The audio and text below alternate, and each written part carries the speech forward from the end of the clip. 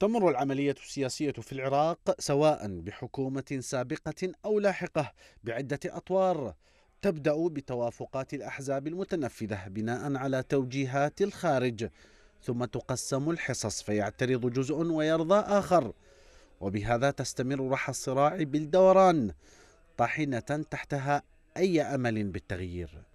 جولة ثانية من الصراع تستهلها الأحزاب الحاكمة على ما تبقى من حقائب وزارية غير شاغرة. وتشير الأنباء الواردة من البرلمان إلى أن حقيبتي الداخلية والدفاع هما مدار الصراع الأشرس بعد أن نال 14 وزيرا من مجموع 22 ثقة البرلمان. ولا يبدو مصطلح الحرية التي قال عبد المهدي إنه يتمتع بها باختيار وزرائه إلا نوعا من الغطاء بنظرة سريعة لملفات الوزراء لتظهر حقيقة قربهم من زعماء الأحزاب والميليشيات. فتحالف الفتح يرى أحقيته بوزارة الداخلية وما زال متمسكا بفالح الفياض كمرشح للمنصب.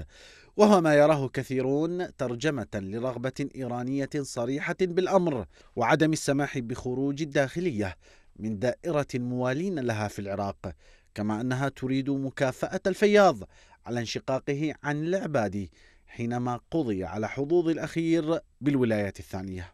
تستمر الأحزاب بملاحقة الوزارات بصراع لا يقل ضراوة سواء على منصب وزير الدفاع أو التربية أو التعليم العالي والتخطيط كلا حسب حصته وفقا لمبدأ المحاصصة كما قال النائب محمد اللقاش.